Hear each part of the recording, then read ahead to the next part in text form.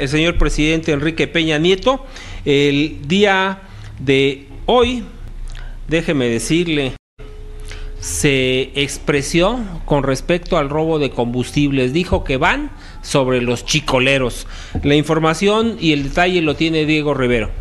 El presidente Enrique Peña Nieto instruyó a su gabinete instrumentar una estrategia integral para combatir el robo de combustible y advirtió que con todo el peso de la ley desmantelará por completo a las bandas delictivas que a ellos se dedican. Al celebrar el 155 aniversario de la batalla de Puebla de 1862 en el Campo Marte, el mandatario expresó sus condolencias a las familias y compañeros de los cuatro soldados del ejército mexicano que perdieron la vida ayer en Puebla en un enfrentamiento con los llamados guachicoleros que se dedican a robar combustible. Quiero expresar mis más sentidas condolencias a los familiares y compañeros soldados del ejército mexicano que lamentablemente perdieron la vida en el cumplimiento de su deber en el estado de Puebla.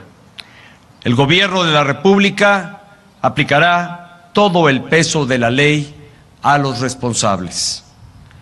El robo de combustible, hay que decirlo y tenerlo presente, es un delito. El Ejecutivo mexicano aseveró que la delincuencia organizada engaña y utiliza a la población para cometer el ilícito, por lo que consideró que la mejor acción para combatir el robo de combustible es la denuncia ciudadana. Acompañado por los representantes de los poderes legislativo y judicial, el mandatario tomó protesta de bandera a 50 mil soldados del Servicio Militar Nacional clase 1998, anticipados, remisos y más de 1.200 mujeres voluntarias.